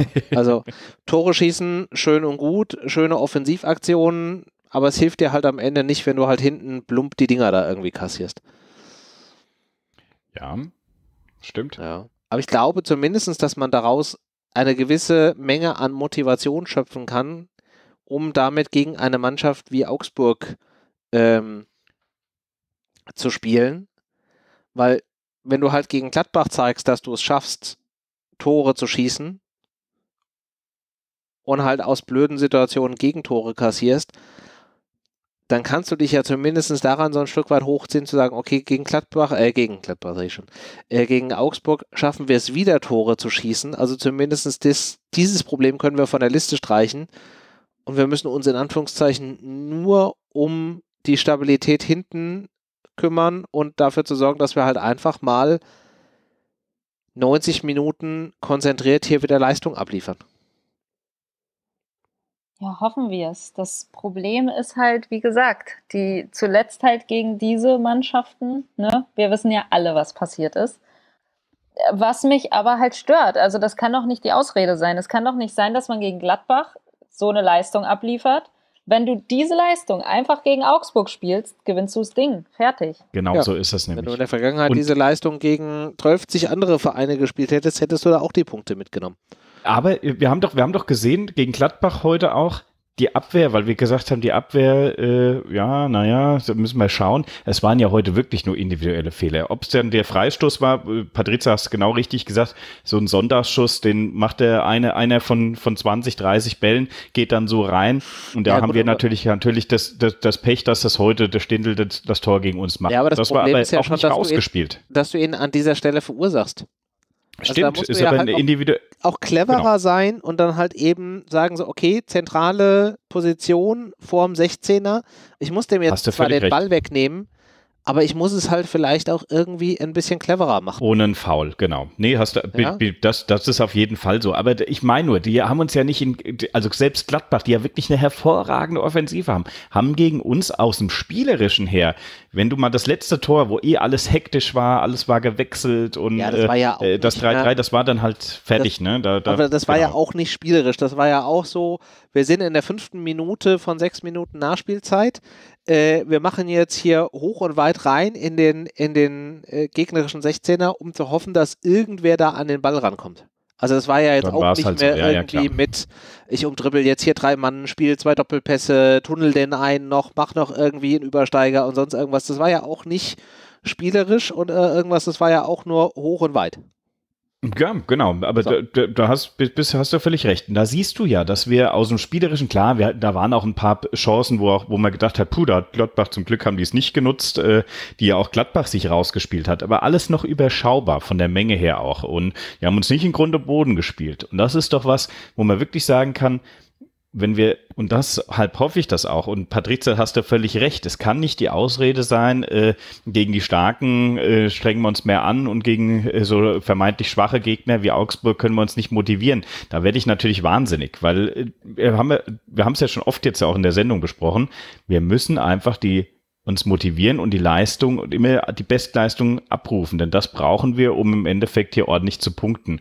Und gegen Augsburg tatsächlich ist jetzt die nächste Chance, das Modell, was wir aber heute auch wieder gesehen haben, das Konstrukt, was ja wirklich über lange Zeit gut funktioniert hat, auch wieder rüber zu hieven. Und Hütter ist ja normalerweise, wenn wir mal bedenken, das ist ja jemand, der auf Kontinuität total steht. Klar, jetzt kann es sein, Younes hoffentlich fällt er nicht länger aus, guten Abraham fällt auch raus, da muss gewechselt werden. Ja. Auf der anderen Seite sind das punktuelle Wechsel.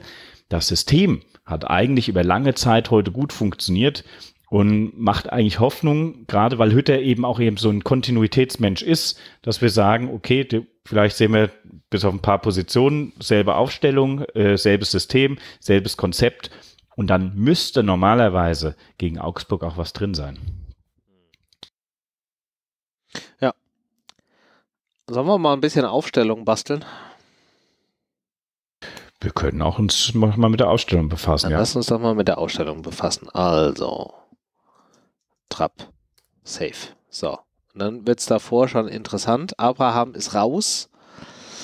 Ein Dicker müsste theoretisch wiederkommen. Hast du dann wieder das Problem mit den beiden Linksfüßen? Das ist aber, glaube ich, in der Situation muss man da einen sauren Apfel beißen, weil äh, also die Alternative wäre Tuta, ne? Die Alternative wäre Tuta oder Ilsanke. Also, wenn ich mir was wünsche. Was ist denn? Könnte, ja hätte ich gesagt. Ja. Ndika auf links, Hasebe in der Mitte, Hinteregger auf rechts. Ich vermute allerdings, dass die wahrscheinlichste Aufstellung Hinteregger, Hasebe und Ilsanker sein wird. Ilsanker, okay. Ah, nee, das würde ich halt no hate, aber würde ich irgendwie ungern sehen, weil. Ich habe nicht gesagt, dass ich, ich das sehen will. Ich glaube ja, allerdings, ja. dass das das ist, was der Trainer auf seinen Zettel schreiben wird. Ich weiß es nicht, weil wenn, wenn ein Dika zurückkommt, sagen wir, der ist wieder fit, yes. dann ist es ja eigentlich ein 1 zu 1 Ersatz. Und klar hast du diese zwei Linksfüße, aber wir haben ja gesehen, dass Hinteregger und Dika jetzt zuletzt auch zusammengespielt haben. Also er hat sich ein bisschen dazu ja, da, überwunden. Da war aber Hinti auf der mittleren Position. Ja, stimmt schon. Ja. Ja, einem beraubst du dann halt den Spielaufbau. Da musst du halt überlegen, gefällt dir der Spielaufbau von Dika oder Hinteregger besser? Ja, deswegen fände ich halt eigentlich die Variante mit, ich lass beide spielen gut, weil dann hättest du halt zwei Spieler, die Spielaufbau von da hinten raus betreiben können. Ja. Und du hast halt die Absicherung mit einem Hasebe da hinten. Also Wunschvorstellung auf jeden Fall Indika einfach für Abraham, oder? Also dass das ein 1 zu 1 Wechsel ja, ist. Das wäre, wenn ich mir was wünschen könnte, wäre es das tatsächlich, ja. weil Hinteregger, und da haben wir ja auch schon das letzte Mal drüber gesprochen, ihm liegt es einfach doch mehr auf dieser linken Nicht Verteidigerposition Ja. zu spielen. Ne? Schon. Also Patrizia, du hast, glaube ich, vorhin äh, angesprochen auch, er kommt jetzt langsam so wieder in seine alte Form. Ich glaube, das liegt auch tatsächlich mit unter anderem an diesem Positionswechsel wieder. Ähm, Ja. ja. einfach seiner Spiel, äh, ja, seiner Spielklasse wieder mehr entspricht. Ja. Wobei wir da ja jetzt auch gucken müssen, es ist ja jetzt halt ein Spiel, was man ohne Abraham überbrücken Ja, muss. ja, ja, ja, ja, ja, klar. Ja. Aber schon halt ein wichtiges. Also ja. ja. du kannst es schon. dir halt jetzt nicht auch nicht erlauben mit, naja, wir machen mal so irgendwie da machen. Du musst halt schon im besten Fall da drei Punkte mitnehmen. Das Was schon, wäre denn aber auch noch mit Touré für rechts, für, den, für die Abra für Abraham-Position? Touré war ja heute gar nicht im Kader. Das wäre ja eigentlich, er ist ja gelernter Innenverteidiger, oder? Es ist gelernter Innenverteidiger und tendenziell auch eher so auf dieser rechten Innenverteidigerposition, ja. Wäre vielleicht auch noch eine Alternative. Ja, hat aber irgendwie in der Vergangenheit auch nicht immer so gut da an dieser Stelle ausgesehen. Stimmt schon, ja. Ja. Aber Also ich würde sagen, wir, wir, am Ende wird der Trainer sowieso wieder was am Ende wird der Trainer sowieso Ilsanka dahinstellen, das muss uns vollkommen klar sein, aber wenn wir uns was wünschen dürften, dann Hinti, Hasebe, ein Dicker. Okay. So, er wird ja jetzt nicht überraschend auf eine Viererkette stellen, dass er nur zwei Innenverteidiger braucht, oder? Das, ich habe also kurz drüber nachgedacht, ich halte es für unwahrscheinlich, wie, wie Dennis schon sagte, er ist halt auch eher so einer, der dann auf Kontinuität ist und ich glaube, das ist halt auch so ein Spielprinzip, was wir jetzt noch nicht wirklich viel gemacht haben. Ja. Und du hast jetzt wenig Spielraum für Experimente. Also, boah, den Move fände ich jetzt schon sehr bold. Fiel mir nur gerade ein, dass Ja. das ja auch eventuell irgendwie gehen könnte, aber hast, ich hast du auch völlig nicht. recht, ja. Ja, Also- aber dann hast du halt auch wieder Hasebe so als klassischen Innenverteidiger und nicht auf dieser Libero-Position oder du Ja, müsstest, dann, ja, wahrscheinlich nimmt man ihn dann wieder raus. Ne? dann müsstest du ihn wieder das, das rausnehmen. nämlich auch, ja. So, und dann ist halt auch wieder so die Frage, was machst du dann? Lässt du einen Willems dann auf links laufen oder einen Endika auf links und wen packst du dann in die Innenverteidigung? Also das Ja, hat schwierig. wesentlich mehr Unsicherheiten als in dieser Dreierketten-Variante. Ja. Ja. Ja. Also ich weiß nicht, mit was wir gehen wollen. Wollen wir unsere Wunschaufstellung nehmen oder wollen wir, was wir denken, was Hütter tun würde? Weil das unterscheidet sich ja, so wie ich das jetzt rausgehört habe, ein Ja. bisschen. Das unterscheidet sich dann doch Ich deutlich. kann es ja einfach mal dahinter schreiben, also wir hätten gerne einen Dicker, am wahrscheinlichsten ist aber Ilse. Ist das denn am wahrscheinlichsten? Wirklich, ja? Also. Ja. Ich weiß nicht, keine Ahnung. Also ich, ich, ich denke, dass auch ein, ein, äh, ein Hütter erkannt hat, dass ein Ilsanker kein Innenverteidiger ist eigentlich. Äh, Ja, wobei er auf der. Innenverteidigerposition, wenn er gespielt hat, auf der Innenverteidigerposition teilweise bessere Spiele abgeliefert hat als in der defensiven Mittelfeldrolle. findest du, wirklich? Glaubt Okay. ihr auch, dass Tuta so komplett außen vor ist, also dass der gar nicht in Betracht gezogen wird? Weil ich meine, der hat ja schon auch ein Spiel gemacht. Ne? Er hat also, auch schon ein Spiel gemacht, ja, aber in der aktuellen Situation würdest du ihn halt so sehr da direkt. äh, ich glaube hinstellen. tatsächlich, dass einfach ein Tuta hinter einem Endika ist. Das ist, das ist meine Herangehensweise. Ja, gut, aber du auch wenn brauchst du den- natürlich du brauchst den ja schon für die Zukunft. Und äh, so wie ich es ja verstanden habe, ist ja schon auch die Idee, dass er dann auch ein Stück weit Abraham ersetzen soll, wenn der dann ab Januar dann raus ist. Also du musst ja früher oder später mit ihm anfangen. So. Aber in der jetzt aktuellen Situation, gerade nach dem Spiel heute, ihn dann da hinzustellen und dann hat er eine blöde Saison, weil ihm halt einfach, äh, Situation, weil ihm halt einfach Spielpraxis fehlt oder sonst irgendwas oder keine Ahnung, unerfahren, whatever, dann wird der doch sofort in der Luft zerrissen. Ja, stimmt schon. Ja, also Ah, keine okay. Ahnung, nominell sollte es ja klar sein, dass man eigentlich Hinti, Ndika und Hasebe spielen lässt, einfach vom, vom Niveau her. Ja.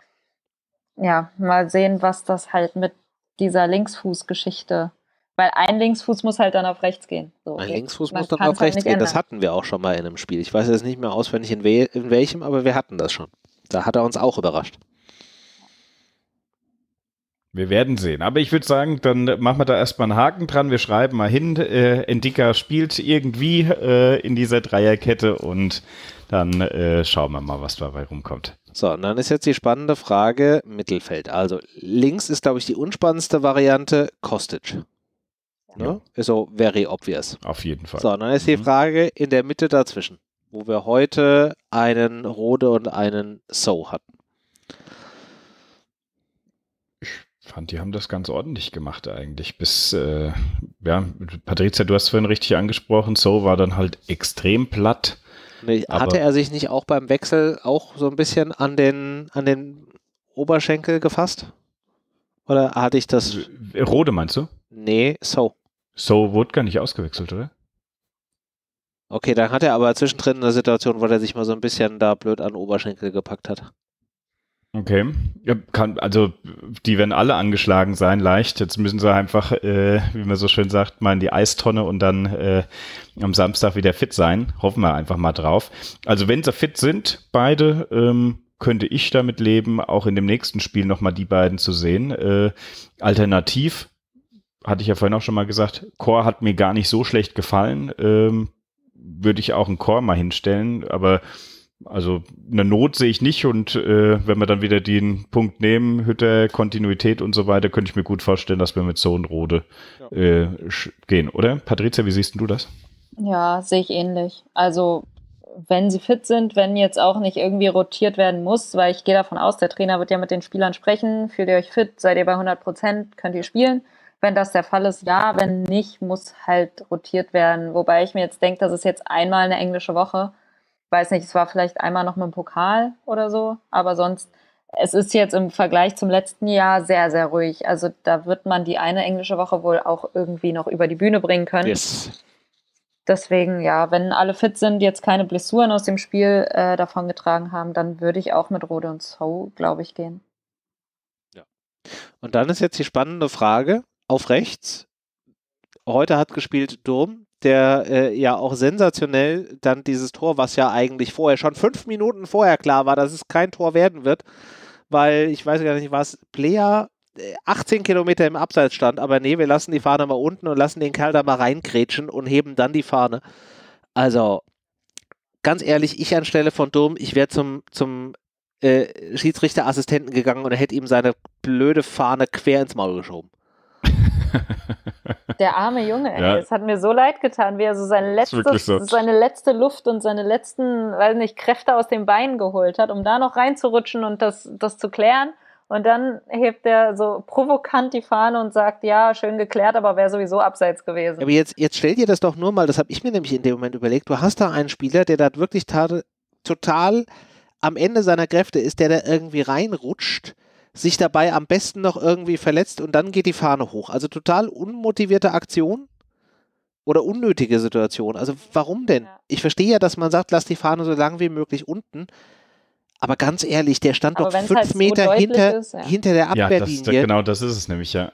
Also, selbst wenn du danach sagst, ja, ich lasse es mal überprüfen, ob er nicht vielleicht irgendwie einen Schritt weiter vorne war, dann war er immer noch einen Kilometer im Abseits. Ja, also in der Situation kommt man es wirklich nicht nachvollziehen. Und ja, muss man wirklich sagen, er hat ja auch ein bisschen betröppelt dann geguckt, äh, kann man nachvollziehen. Also trotzdem, ich muss sagen, jetzt war er, glaube ich, vier oder fünf Spiele in Folge ja in der Startelf, äh, nachdem er ja vorher gar nicht äh, berücksichtigt wurde. Ja. Hat er ordentlich gemacht eigentlich. Ich sehe allerdings da einen Wechsel kommen. Ich sehe da einen Wechsel kommen. Okay. Und zwar, wer kommt deiner Meinung nach wirklich da Costa dann, weil er näher dran ist und immer mal seine Zeit bekommt? Ja. Okay. Ich- mhm. Könnte mir das vorstellen und ich würde es tatsächlich auch gerne mal versuchen, weil da Costa durchaus auch ein schneller Spieler ist und du vielleicht dann tatsächlich mal wieder so taktisch ein bisschen mehr über die Außen noch gehen kannst mit schnellen Spielern.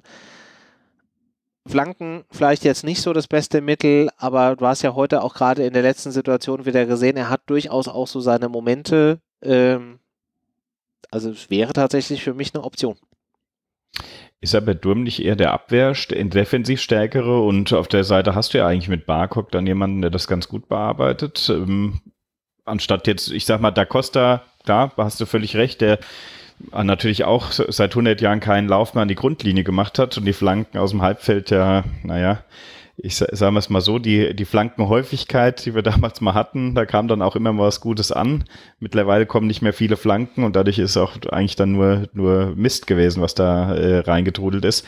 Also ich sehe es, ich muss wirklich sagen, ich sehe aus diesem Wechsel jetzt noch nicht so wirklich den ähm, Matchpoint oder den entscheidenden Punkt, der uns wirklich so weiterhelfen kann. Aber also wir können es gerne mal versuchen. Es äh, schadet ja nicht, da auch mal ein bisschen zu rotieren. Wie würdest du denn Seite, aufstellen? Warum? Äh, also meiner Meinung nach, äh, ich würde wieder mit Durm spielen tatsächlich und hätte Chandler eigentlich gerne mal gesehen, weil äh, das auch für mich so jemand ist, der, den hätte ich auch normalerweise heute, muss ich wirklich sagen, eher in der Schlussphase nochmal gebracht, weil der sich auch nochmal so richtig aufreibt, nochmal äh, einfach auch die Spielerfahrung mitbringt. Aber ist eine andere Geschichte. Ähm, nee, also für mich meiner Meinung nach muss man an der Stelle nicht wechseln. Aber klar, wenn der Spieler platt ist oder man sagt, man will mal einen neuen Akzent da setzen, da Costa spielt natürlich ganz anders und ist auch eher dann für die Offensive, äh, finde ich zumindest, dass er in der Offensive eher seine Stärken hat als in der Defensive. Da würde ich dann eher mit Durm gehen. Ja. Patricia, wie, wie siehst du das?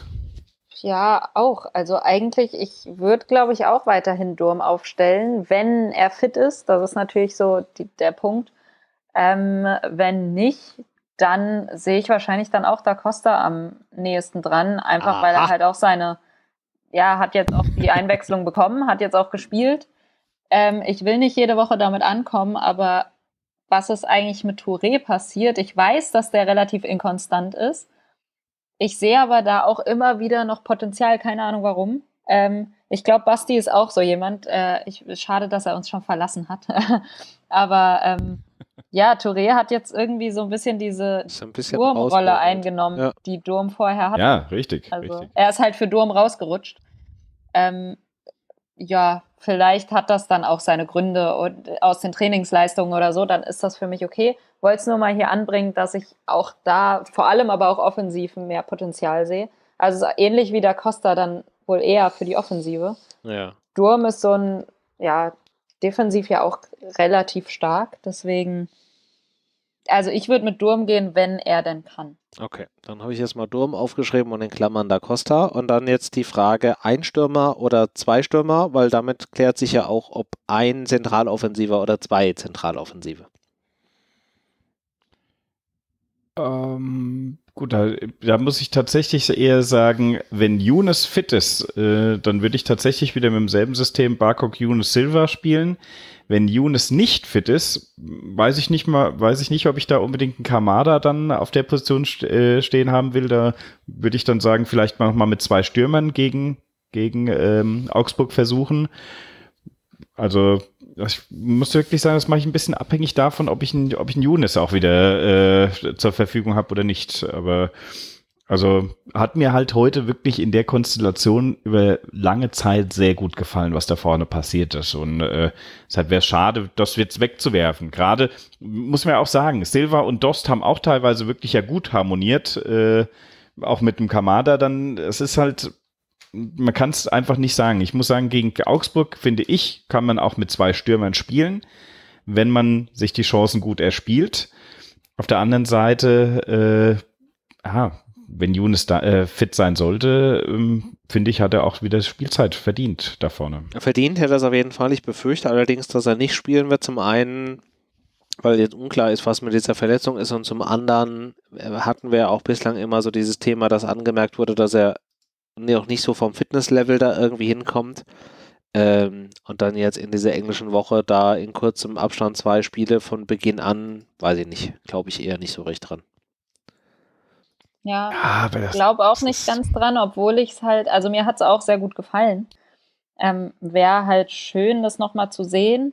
Andererseits weiß ich auch nicht, wurde Kamada jetzt draußen gelassen, um das mal auszuprobieren? Oder war das jetzt auch schon so ein bisschen Rotation zumindest, dass man sagt, hey, nächstes Spiel spielt dann halt wieder Kamada und einer der beiden anderen geht raus oder sogar beide und wir haben eine Doppelspitze. Weiß jetzt halt nicht, was geplant ist wird Fans aber auch irgendwie für Kamada ein bisschen schade, wenn er wieder ähm, als einziger Zentraler spielt, also zentraler Offensiver, mhm. ähm, mit Dost und Silva, weil das halt irgendwie auch immer eine schwere Aufgabe ist. Du musst halt, wie gesagt, beide Stimmt. immer in Szene setzen. Also das sind beides Stürmer, die du in Szene setzen musst. Und Ja, ich finde, das ist eine undankbare Aufgabe ohne einen zweiten. Weil jetzt Silva wurde ganz gut auch in Szene gesetzt, weil halt eben auch Barkok und Younes da waren und die konnten dann im Trio so ein bisschen sich gegenseitig da aushelfen. Das äh, würde Kamada, glaube ich, auch. Ich bin immer noch dabei, dass es ihm auch helfen würde, wenn er da einfach Barkok oder Younes an seiner Seite hat und dann halt Silva mit Silva zusammen. Es würde, glaube ich, ähnlich gut funktionieren. Ja. Ähm, deswegen, ich sehe da nicht, dass Kamada irgendwie hinten runterfällt und dass man sagt, wenn man jetzt Younes oder Barkok rausnimmt, ist das eine Verschlechterung, Kamada zu bringen. Das sehe ich halt nicht. Man hat halt die Qual der Wahl, was ja irgendwie auch gut ist. Irgendwie aber auch schade, weil man, weil, weil jeder so ein bisschen seine Vorteile mitbringt. Ich kann mich da sehr, sehr schwer entscheiden gerade. Ja, kann ich komplett nachvollziehen. Für mich wäre dann allerdings gerade so der Punkt, den du angeführt hast mit, ähm, es sind beides Spieler, die in Szene gesetzt werden äh, müssen. Ähm, ein wichtiger. Und von daher wäre ich dann tatsächlich eher für zwei Zehner und ein Stürmer wieder. Klar. Und da Silva ist, denke ich, auf jeden Fall gerade nach der Leistung auch heute wieder gesetzt. Ne? Also bevor wir jetzt mit Dost Ein bisschen anfangen. abhängig dann auch hier von, von dieser muskulären äh, Thematik, aber mit relativ hoher Wahrscheinlichkeit hätte ich gesagt, ja. Dann ist halt die Frage, wer sind die zwei Zehner dahinter? Ich fände es ein bisschen unfair, in Anführungszeichen, wenn wir jetzt Barkok rausnehmen würden, weil er da diese Scheiße gebaut hat äh, und den Elfmeter verursacht hat. Weil ansonsten war das echt ein super solides Spiel. Der braucht auch, glaube ich, mal so ein paar Spiele hintereinander, wo er seine genialen Momente zeigen kann. Das muss ich schon sagen, ist so ein bisschen, mh, wenn Barkok das konstant zeigen würde, ist das für mich der bessere Kamada, muss ich wirklich sagen. Kamada, technisch hat er das vielleicht auch drauf, aber es sind dann, da, da läuft einfach noch, das fällt mir vielleicht auch, oder ich bin einfach so deprimiert, was, was ich alles schon von Kamada gesehen habe, äh, dass einfach die Einstellung ist, ähm, für mich steht ein Barkok vor einem Kamada. Jetzt muss man natürlich sagen, auf der anderen Seite, Younes, ihr habt schon richtig gesagt, vielleicht ist er nicht fit oder er ist jetzt auch noch verletzt. Da könnte ich mir vorstellen, dass er vielleicht äh, für äh, Younes dann spielt, Kamada. Und Neben könnte ich auch mitleben. Man, Barkok, Barkok, Kamada und Silva, das wäre ja Was wir ja auch mal auch eine schon, witzige was wir ja auch schon mal hatten. Und äh, da gab es ja auch gute Tore und gute Spielzüge, weil, wie Patricia sagt, die dann beide so ein bisschen darauf achten konnten, ähm, Silva in Szene zu setzen. Äh, beide auch durchaus Spieler sind, die auch mal auf die Außen gehen können. Gerade ein Barkok, der dann vielleicht auch mal sich so ein bisschen eher nach rechts außen orientiert äh, und damit dann auch so ein bisschen Platz für Kamada in der Mitte schafft. Also kann ich mir schon gut vorstellen. Es wäre auch tatsächlich so meine präferierte Variante mit Kamada, Barkok und Silva. Ja, ich glaube auch, ich glaube, was Dennis auch sagt, dass er Barkok vor Kamada sieht, ich glaube einfach, Barkok ist nicht so verkopft wie Kamada.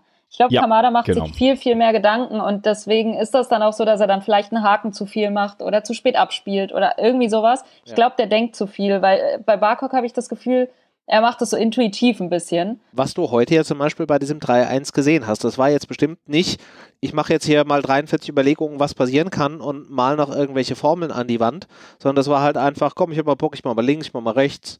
Ja? Genau, wie dann auch, also viele so Bolzplatz-mäßige Kommentare gab es ja. Auch von dem Kommentator, der sonst nicht viel, viel Richtiges gesagt hat. Das Aber, hatte, hat ähm, ihm wahrscheinlich auch einer vorgesagt. Auf die Idee ist der nicht von alleine gekommen, das traue ich Aber es ist wirklich so ein bisschen mehr Leichtigkeit, habe ich das Gefühl, bei Barkok, weil er einfach nicht so, so sich so krass Gedanken macht. Ich glaube, der macht einfach. Und bei Kamada ist das so ein bisschen, der hemmt sich manchmal selbst, glaube ich. Weshalb das, er stoppt sich da selbst auch ein bisschen dadurch. Äh, Andererseits hat man dann bei, bei Barkok dann das Ding, dass das halt auch so ein bisschen kopflos werden kann. Ja, aber vielleicht ist das halt ja mit gerade deswegen eine gute Kombination. Du hast auf der einen, der halt eher so Gefühlsfußballer ist und vielleicht halt auch manchmal einfach so ein bisschen sinnfreie Aktionen hat und dann hast du auf der anderen Seite halt eher so den Professor, der irgendwie alles noch 15 Mal durchrechnet. Vielleicht ist es halt einfach genau diese Kombination, die es an dieser Stelle braucht. Ja, also zwei Zehner haben wir jetzt schon beschlossen Ja. mit Silva. Und äh, ja, also weiß nicht, ich würde wahrscheinlich Kamada Barkok, weil ich einfach irgendwie gerade davon ausgehe, dass Younes nicht fit genug ist, Ja. um noch ein Spiel zu machen, weil Ja, er jetzt auch auch ein bisschen meine- angeschlagen war. Ja. Ans das ist jetzt, was mir gerade die Entscheidung so ein bisschen, weil ansonsten wüsste ich es ehrlich gesagt nicht. Ja, aber das klingt doch schon mal nicht schlecht. Und vielleicht wird ja auch irgendwann mal der Trainer dazu kommen, dass man nicht erst in der 80. Minute oder sonst wann wechseln ja. muss, darf. Und ja. vielleicht, vielleicht, weiß nicht, wenn das nicht klappt, hat man immer noch die, die Möglichkeit, einen rauszunehmen und Dost vorne mit reinzustellen. Dann spielst du halt mit zwei genau. Spitzen.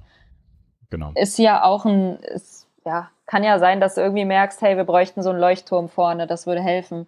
Ja. Weiß nicht, ob das äh, Hütters Sache ist, dann auch darauf zu reagieren und äh, den passenden Spieler frühzeitig einzuwechseln, aber die Möglichkeit besteht ja. ja. Das ist korrekt. Gut, dann haben wir unsere Aufstellung fertig. Dann machen wir jetzt noch Ergebnistipps und dann würde ich sagen, haben wir genug über äh, Eintracht Fußball diese Woche äh, gesprochen. und Patricia darf wieder anfangen. Ähm, Tipp für Augsburg. Yes. Uff, also, ich sag, es wird ein 2-1 für die Eintracht. Jetzt tippe ich doch mal auf Sieg Eintracht, weil langsam muss es passieren. Es ist jetzt einfach mal soweit. Es ist jetzt endlich mal soweit, okay. Gut. Ist notiert. Dennis? Äh, ich setze noch ein Tor drauf. 3-1. Offensive hat ja wirklich gut funktioniert und mm, ja, kann ich mir gut vorstellen, dass wir hier endlich mal das Ding über die Ziellinie retten. 3-1, ja. Ich schwanke äh, so ein bisschen, durch welches Tor ich gehen soll, weil ich nicht weiß, hinter welchem jetzt gerade der Zonk sitzt. Die Älteren unter euch werden sich erinnern. Ähm, es wird ein 1, also 0-1, also 1-0 für die Eintracht, so rum. Okay. Wahrscheinlich schön, dass irgendwie... du noch Hoffnung auf ein zu Null hast. Ja. Das, das habe ich komplett, das ist bei mir komplett gestorben, glaube ich. Es wird aber kein schönes zu Null, sondern wahrscheinlich irgendwie frühes Tor für uns und dann einfach so irgendwas zwischen 83 und 85 Minuten purer Wahnsinn und darauf hoffen, dass keiner der Bälle von, Kla äh, von Gladbach, sag ich schon, von Augsburg ankommt, so ein richtig nervenaufreibendes Spiel, wo du danach irgendwie erstmal 13 Minuten heulend unterm Tisch liegst. Und soll ich jetzt mal den Jörg Träger machen und fragen, was in der Tor 2 war? Ein 0-0. Ein 0-0. So, ja. ganz, so ein ganz spannendes 0-0, verregneter Samstag, gar kein Bock. 0-0, oh. 90 eklige Minuten ohne eine einzige vernünftige Torszene. Am besten also end, so einem, endlich mal wieder unentschieden, ne? Endlich mal wieder ein Unentschieden. Am besten noch am Ende mit so einer Expected Goals äh, Statistik irgendwie 0,12 zu 0,11. Irgendwie sowas. Das wäre Tor 2. Und hinter Tor 3 ist wahrscheinlich dann der Zong. Vielleicht ist das aber auch der Zong. Wer weiß das schon so genau. Ja, gut. Also ich sag mal so, mit den getippten Ergebnissen können wir, glaube ich, ganz gut leben. Ja, wenn, wenn das denn tatsächlich mal äh, so eintritt. Ansonsten muss ich doch langsam anfangen, gegen die Eintracht zu tippen, weil immer wenn ich optimistisch war, dass sie gewonnen haben, war nachher irgendwie nur ein Unentschieden da. Das war dann schon ein paar Mal jetzt, ja. Das war ein paar Mal, ja. Hm. Leider Gottes. Und ich ärgere mich gerade auch noch so ein bisschen. Ich hatte in der 91. Minute noch überlegt, ob ich einfach den, den Basti-Move mache und einfach aus so reinem Selbstschutz 20 Euro bei Tipico auf ein Unentschieden setze. Ich habe nicht nach der Quote geguckt, aber es wäre bestimmt eine großartige Quote gewesen in der Sekunde. Bestimmt, ja. Davon ist auszugehen, ja. Davon ist auszugehen, ja. ja. Gut. Ich würde sagen, wir haben damit ausreichend äh, über Fußball gesprochen. Wir entlassen euch da draußen jetzt in diese vielleicht noch angenehme Woche denkt nicht so viel über Fußball nach. Es macht euch auf Dauer nicht glücklich. Ähm, ja, übersteht diese kommende Zeit, gerade jetzt mit diesem beginnenden Lockdown morgen oder wenn ihr das jetzt hört, dann schon quasi jetzt in diesem Moment äh, gut. Bleibt gesund.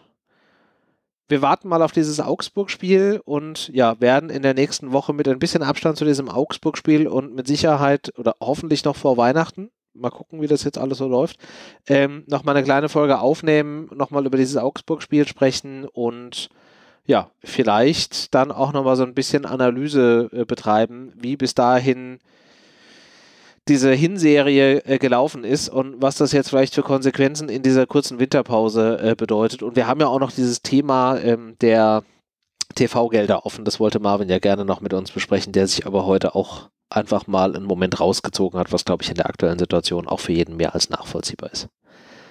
Aber in diesem Sinne genießt irgendwie den Rest der Woche und wir melden uns dann in der nächsten Woche in gewohnter Art und Weise wieder. Bis dahin, macht's gut. Tschö.